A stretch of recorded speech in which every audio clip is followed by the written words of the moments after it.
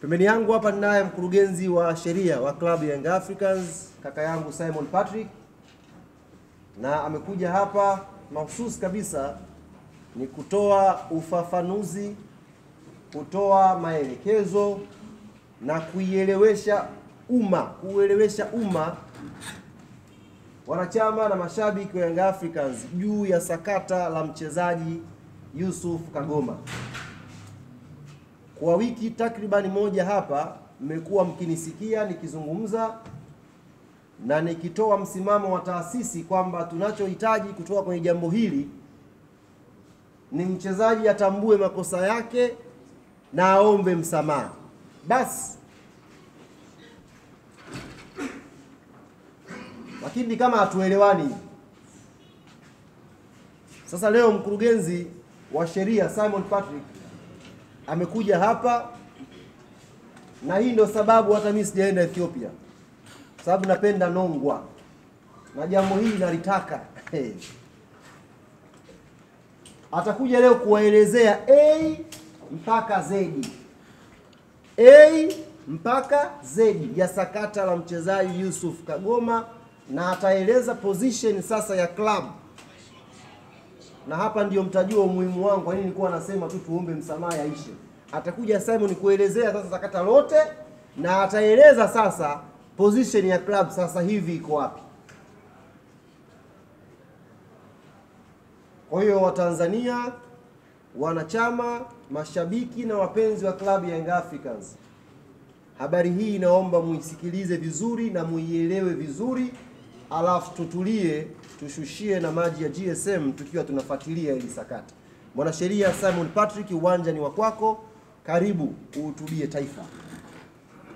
Asante sana ndugu yangu Ali Shabani Kamwe, Sasa hivi Ah. naitwa mwenyekiti wa Nongwa. mwenyekiti wa Nongwa. Eh, Asante sana. Ah, ndugu zangu waandishi wa habari, kwa mara nyingine tena habari za mchana. Um, kama alivyosema mwenzangu hapa, ndani ya hichi kipindi cha wiki mbili yamesema maneno mengi sana kuhusu sakata la mchezaji Yusuf Kagoma. Klabu ya Yanga imeshutumiwa kwa mambo mengi sana kuhusu mchezaji Yusuf Kagoma. Waandishi wa habari, wachambuzi wameongea maneno yao yote kuhusu sakata la mchezaji Yusuf Kagoma, lakini at no point klabu ya Yanga imejitokeza mbele kuweza kuwaelezea Watanzania na yenyewe position yao ikoje. Kwa hiyo leo rasmi uongozi wa klabu ya Yanga kupitia kamati ya utendaji umenielekeza kwamba ni muda mwafaka sasa wa klabu ya Yanga kuongea, kutoa position yake na kuweza kuwahabarisha wanachama, mashabiki na wadau mbalimbali wa michezo kuhusu position ya Yanga kwenye hili sakata la mchezaji Yusufu Kagoma. Ndugu zangu waandishi wa habari na wanachama wa klabu ya Yanga, ilikuwa tarehe 4 mwezi wa tatu mwaka 2024 klabu ya Yanga kupitia kamati ya utendaji walianzisha mchakato rasmi wa maongezi ya kumnunua huyu mchezaji Yusuf Kagoma na Singida Fountain Gate. Baada ya maongezi ya muda mrefu, waliweza kufikia mwafaka kwa maana ya Singida Fountain Gate kuweza kuweka price tag ya mchezaji ili kusudi Yanga itekeleze imnunue rasmi. Baada ya maongezi hayo, uongozi wa Singida Fountain Gate ulipa masharti klabu ya Young Africans kwamba ili kusudi iweze kumnunua mchezaji Yusuf Kagoma itawalazimu Yanga ilipe shilingi za Kitanzania milioni 30. Baada ya kufikia makubaliano hayo, klabu ya Yanga pamoja na klabu ya Singida Fountain Gate waliingia makubaliano rasmi ya kimkataba ya kumnunua mchezaji huyo aitwaye Yusuf Kagoma, na sharti la mkataba huo ilikuwa ni klabu ya Yanga kulipa shilingi za Kitanzania milioni 30. Hivyo basi, hapa mbele yangu niko na mkataba mambo kwa ushahidi Huu ni mkataba wa mauziano kati ya klabu ya Yanga itakusaidia kushika. na Singida Fountain Gate. Mkataba huu umesainiwa na pande zote mbili na kuwekwa na sahihi na klabu ya Singida Fountain Gate. Ali waonesha. Eh, Kidala sio yupo. Sawa jamani? Haya. Baada ya kuwa na ah, makubaliano haya, Karatasi ya kwanza tiki. kipengele cha tatu cha mkataba huu kinasema kwamba Yanga italipa hii hela kwa awamu mbili. Awamu ya kwanza watalipa nusu ya milioni 30 kwa maana milioni 15 mwisho wa mwezi wa nne na awamu ya pili mwisho wa mwezi wa sita. Ndugu waandishi wa habari, tarehe 30 mwezi wa 4 mwaka 2024 klabu ya Yanga ilifanya malipo kwa Singida Fountain Gate ya milioni 30 Swift here ya kumnunua huyu mchezaji. Kwa hiyo kwa mujibu wa makubaliano yetu, klabu ya Yanga tayari tumeshanunua mchezaji na tukalipa. Na uzuri haya mambo ni ya kidijitali. Hii ni Swift code ya benki. Huwezi ukatengeneza leo kuonesha kwamba kuna klabu ilimnunua mapema zaidi yetu, kwa sababu utafoji dokumenti zote, lakini sio ya benki. Hii ndio inaonyesha kwamba klabu ya Yanga ndio klabu ya kwanza kumnunua huyo mchezaji tarehe 30 mwezi wa 4 mwaka 2024 na akalipa milioni 30. Kwa kwa maana hiyo huyu mchezaji akawa mchezaji halali wa klabu ya Young African Sports Club. Baada ya kufanya malipo, klabu ya Yanga iliruhusiwa sasa kukaa karibu na mchezaji ili kusudi waweze kunegotiate maslahi binafsi. Wataka kunipa maji? Shushia kidogo. Nayo, nayo. Unayo? Eh, Eh. Asante sana. Karatasi mbili zimeshanichachamaza hivi.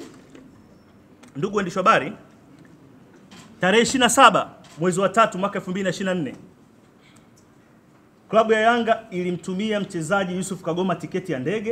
Eh, Ndege yetu alipanda. hii hapa. Air Tanzania. Kama partner wetu walitupa tiketi ya ndege, akatumiwa mchezaji kutoka Kigoma kuja Dar es Salaam kwa ajili ya kufanya maongezi na klabu ya Yanga. Alivyofika Dar es Salaam, uongozi ulifanya naye mazungumzo na kisha tarehe 28 siku inayofuata mwezi wa tatu mwaka 2024 tuliweza sasa rasmi kusaini mkataba kati ya klabu ya Yanga na mchezaji husika Yusuf Kagoma. Na, na katika kusaini mkataba huo mchezaji huyo aliwakilishwa na wakili wake anaitwa bwana Leonard Richard, na mkataba huwa ndio muhimu. hawezi kukana. akaweka dole gumba, akasaini mkataba wa misimu mitatu. misimu mitatu afu nakaa wiki tatu unaondoka. Mkataba huu uko nyuma umesainiwa na mchezaji husika Dole Gumba pamoja na mwanasheria wake anaitwa bwana Leonard. Tena huyu ni mwanasheria mzuri sana nguli, akiwa akimshauri kila kitu kwamba kila kitu kiko sawa, tia sahihi. Wakaanguka sahihi, mkataba huu hapa. Au sijali. Hii taafa muondoke nayo. Baada ya hapo, klabu ya Yanga ikajiridhisha tumemaliza dili na huyu mchezaji, lakini masharti ya huu mkataba ni kwamba kwa sababu dirisha la usajili halijafunguliwa, basi huu mkataba utaanza kufanya kazi kuanzia tarehe moja mwezi wa saba mwaka 2024 na utaisha mwisho wa msimu wa mwaka 2026 2027. Kwa ulikuwa ni mkataba wa misimu mitatu. Mpaka sasa hivi huu mkataba ni hai, hakuna chombo chochote chenye mamlaka kimevunja mkataba, na wengine kutokana na hizi kesi za FIFA mmekuwa mki, mkielewa sasa hivi kwamba njia pekee ya kuvunja mkataba ni mbili. Ya kwanza mkataba uishe, ya pili pande zote mbili zikae zikubaliane zifanyeje, zivunje. Kwa maana yake mpaka sasa hivi tunaongea, tuna mkataba halali na mchezaji Yusuf Kagoma. Sawa jamani. Baada ya hapo tarehe sita mwezi wa saba mwaka 2024 klabu ya Yanga ilipokea barua kutoka kwa uongozi wa Singida Fountain Gate wakiomba kwamba tunaomba Yanga ya yale malipo mliofanya ya milioni 30 tuyafanye yawe malipo ya Nixon Kibabaji, wakisema kwa sababu mna mchezaji wetu anaitwa Nixon Kibabaji, kwa tunaomba yale malipo ya milioni 30 yawe ya mchezaji Nixon Kibabaji. Sasa sisi hatukuweza kujibu barua, tukajua labda kuna shida ya hela. Kwa hiyo ilichokifanya Yanga ilichokifanya Yanga tarehe hiyo hiyo tarehe tarehe yes tarehe sita mwezi wa saba klabu ya Yanga iliingizia klabu ya Singida Fountain Gate kiasi cha shilingi milioni 30 kwa ajili ya mchezaji Nixon Kibabai kwa sababu tuliashumu kwamba labda wanaokata wa fedha hivyo wanakumbusha hela yao, kwa na yenyewe tukawa tumewaklia. Kwa mpaka sasa hivi klabu ya Yanga imelipa jumla ya milioni 60 za Kitanzania kwa ajili ya wachezaji wawili Nixon Kibabage na nani? Yusuf Kagoma, hela ambayo imepokelewa na mabwana wameenjoy hiyo hela, na niwaambie ukweli kwamba hii hela ni ada zenu wanachama wa klabu ya Yanga, kwa sababu kumbuka usajili wa wa- wa- wa- wa wachezaji hatutumii hela zetu sisi, sio hela ya Simon Patrick, sio hela ya Engineer Health, sio hela ya Kamwe, ni ada za wanachama wa klabu ya Yanga ambao wamelipa kwa ajili ya hao wachezaji wawili. Baada ya kusema hayo, um, tarehe tano mwezi wa tisa uongozi wa mchezaji na mchezaji mwenyewe waliufata uongozi wa klabu ya Yanga kuomba tumalize hili swala nje ya kamati. Wenyewe wakaandika kwamba wangetamani tuwe na makubaliano ya kutoa shauri kwenye kamati na waombe radhi. Wao ndo wenyewe waliomba na wenyewe ndo waliandika lile tangazo kwamba wata, wataandika tangazo la mchezaji kuomba msamaha, lakini hakuna kilichofanyika.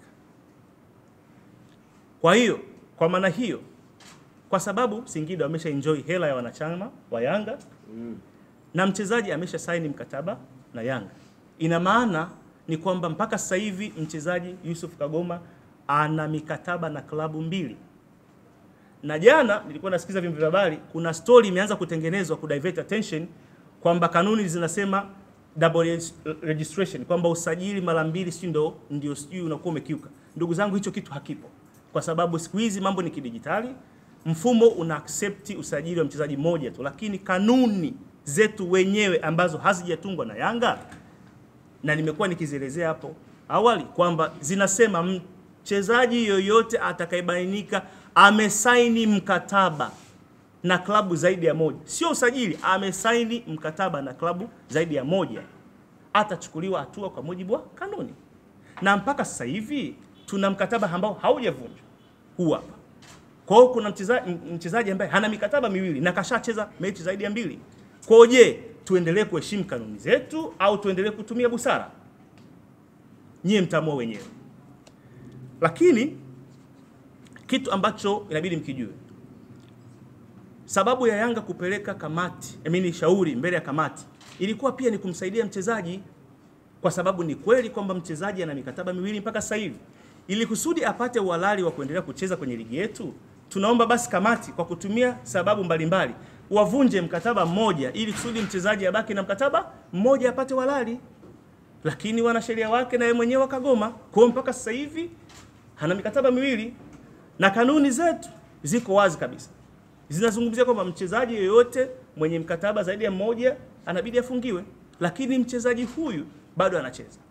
Na mbaya zaidi, ndugu waandishi wa habari, kwenye kikao cha kamati, mwenyekiti wa kamati katoa maelekezo kwamba hawaruhusiwi kumtumia huyu mchezaji na wakati wanatoa maelekezo alikuwa na wanasheria wake na mwanasheria wa klabu anayocheza sasa hivi, wote walipewa maelekezo kwamba huyu mchezaji haruhusiwi kucheza.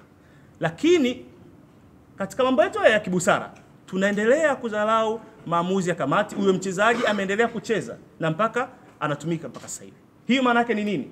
Maana yake ni kwamba hizi kanuni ambazo tumekubali sisi zituongoze kwenye soka letu, watu wanaamua with intention kutozifata, afu baadaye wanataka busara itumike. Sisi siku zote tumekuwa tukipambania utaratibu, hatuna shida busara kutumika, lakini tunatoa angalizo uko baadaye itakavyotokea tena, inaweza siwe mbali, Januari akatokea mchezaji mwingine akafanya haya, tunaomba na yenyewe asije akahukumiwa kwa kanuni, azidi kuhukumiwa na busara, kwa sababu kuna watu wamekuwa wakisigina nini kanuni za ligi kuu. Kwa hiyo ndugu zangu waandishi wa habari, mpaka sasa hivi shauri letu liko mbele ya kamati, kwa maana kamati ya sheria na hadhi za wachezaji, mpaka sasa hivi halijasikilizwa, na maombi ya klabu ya Yanga mbele ya kamati ni maombi matatu. Cha kwanza, tunaitaka kamati au tumeiomba kamati itamke kwamba Yusuf Kagoma ni mali ya Yanga kwa sababu tumemnunua na tuna ushahidi unaojitosheleza kuonesha kwamba hakuna klabu iliyotutangulia kumnunua yule mchezaji.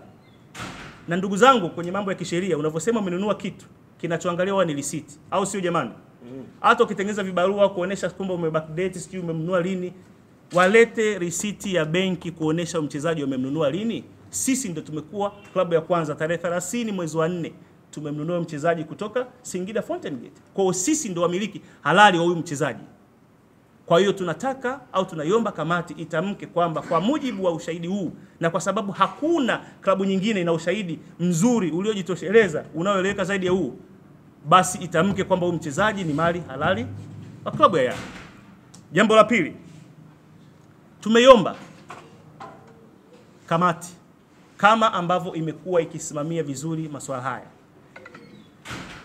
isimamie kanuni ya 41 kanuni ndogo ya 13 kwa sababu kanuni hizi hatujatunga sisi, na kanuni inaeleza zaidi uh, wazi kwamba mchezaji anayesaini mikataba zaidi ya vilabu viwili, manake adhabu yako iko pale, na sisi tunataka kwa sababu mkataba upo na kwa sababu haujavunjwa na wala hawajaja uh, hao wawakilishi au management ya mchezaji haijaja kukaa na uongozi wa Yanga kuomba tuvunje mkataba. Manake kwa minajili yote ya kisheria au mkataba mpaka sasa hivi unafanya nini? Unafanya kazi. Kwa hiyo huyu mchezaji mpaka sasa hivi pamoja na mechi mbili alizocheza amecheza akiwa na mikataba hii miwili. Ama tukubaliane kwamba kanuni hizi zisitumike au kama zinatumika basi itekelezwe. Na hii itasaidia kulilinda soka letu huko mbele, ili kusudi kesho na kesho kutwa itakavyotokea kanuni nyingine imevunjwa, basi hata na sisi tukubali kwamba ehe, kanuni hizi zimekuwa zikisimamiwa kwa weledi, basi na kila mtu akubali adhabu. Lakini ikitokea kwenye masuala ya fine, masuala ya kishirikina, kanuni zinatumika, lakini kwenye masuala ya msingi kama haya tunapepesa pepesa macho. Maana yake ni kwamba tutakuwa tunaliingiza soka letu shimoni, na mimi nawaomba sana waandishi wa habari, mumtangulize Mwenyezi Mungu mbele mripoti vitu ambavyo vina uhalisia, sio kuweka tu story ili mradi aonekane nani mzuri nani mbaya, kwa sababu chochote tunachokifanya hapa ni kwa maslahi mapana ya soka letu. Cha mwisho, tumeiomba kamati itamke kwamba kitendo cha mchezaji huyu kusaini mkataba na virabu viwili, maanake ni kwamba ameterminate mkataba wetu sisi, it's called uh, unilateral termination of a contract yaani kwamba mchezaji mwenyewe kavunja mkataba wetu sisi ambao mpaka sasa hivi upo kihalali. Kwa baada hiyo ni kwamba watoe sasa adhabu au fidia kwa mujibu wa mkataba wenyewe ambao mpaka sasa hivi ni mkataba uko halali. Baada ya kusema hayo, ndugu zangu waandishi wa habari, nawaomba sana sana sana sana, nafasi yenu katika jamii kukuza soka hili, soka la nchi yetu ni nafasi muhimu sana. Hivyo basi, naomba mtumie kalamu zenu, mtumie vipaza sauti vyenu, mtumie vyombo vyenu vya habari kuelimisha, lakini kuhakikisha kwamba soka la Tanzania linasimamiwa na kanuni ambazo tumejiwekea wenyewe. Bila kufanya hivyo, maana yake tutakuwa tunaliingiza soka letu shimoni kama nilivyosema. Na hapa kinachoniuma zaidi ni kwamba pamoja kwamba kamati yenyewe imeshamsimamisha huyu mchezaji kucheza, lakini mchezaji amekuwa akishiriki kwenye shughuli za kimchezo. Baada ya kusema hayo, naomba niwaambie kwamba huo ndio msimamo wa klabu ya Yanga na hii ndio press ambayo mimi sitakuwa na maswali, ila mimi ndio nitawauliza maswali, na swali ni moja tu, moja kwenu, ndugu zangu, klabu ya Yanga ifanyeje? Au mngekuwa nyinyi mngefanyaje? Busara itumike, kanuni zifuatwe. Baada ya kusema hayo, mimi sitaki kuuliza swali lolote. Nawashukuru sana na naomba kuondoka. Wewe maliza kupumzika. Asanteni sana. Umecheza kama duke ya buya, Umekaba, umeshambulia.